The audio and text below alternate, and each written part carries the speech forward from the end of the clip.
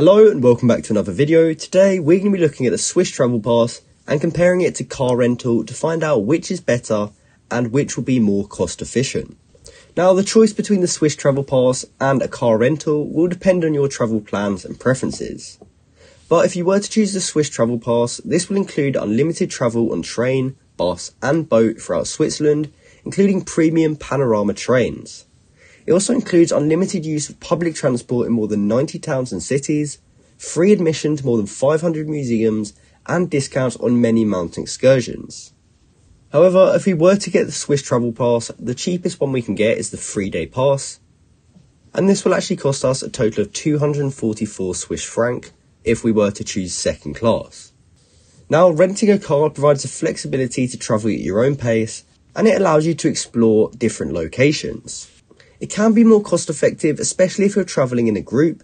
However, you will need to consider additional costs such as fuel, parking, and also tolls. Also, driving in mountainous regions can be challenging for some. So as you can see, we can rent a car for as little as £44 a day in Bern. However, this may be different depending where you are actually trying to rent a vehicle. But as I mentioned, you will have to factor in the additional costs as if they add up, you may be paying more for the car rental than you would for the Swiss travel pass.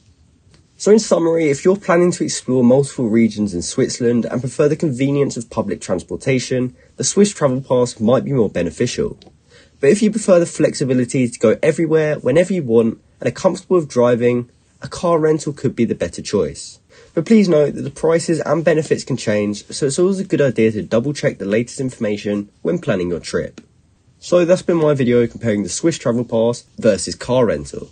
Hopefully now that you've watched this video, you understand which one will be a better choice for your trip. And if you did find this video helpful, please comment down below to say this video helped you out. Thanks for watching.